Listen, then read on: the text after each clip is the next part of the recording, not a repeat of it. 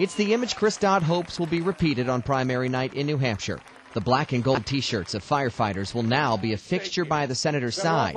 He's confident their community standing will give him a boost. You're leaders at home. You're trusted. You stand up and fight for working families in your communities. You're deeply involved. You're pillars in your societies. For Dodd, who had no measurable support in July's New Hampshire WMUR poll, this could be the spark needed to gain ground on frontrunners Hillary Clinton and Barack Obama. Why is this group different? Firefighters stood with John Kerry in 2004, even in the dark days when his campaign was faltering. Kerry surged and took the Democratic nomination, and the firefighters became a critical endorsement. I'm a union guy. I'm a labor guy, and I'm proud to be associated with it. Senator Dodd was one of several Democrats who lobbied the firefighters directly at last spring's annual convention. Firefighters say they chose Dodd over the others because of his 30 year track record of fighting for them pensions, equipment, and family care. So it's not about the polls, it's not about campaign funds, it's not certainly not about the Washington guru, political gurus or pundits.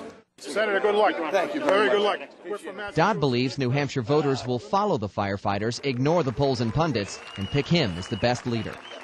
They want to know what you're made of. They want to look you in the eye. Uh, they want to judge you, not just where you stand on 10 issues, but what kind of a person are you? What sort of a character? What sort of character do you have?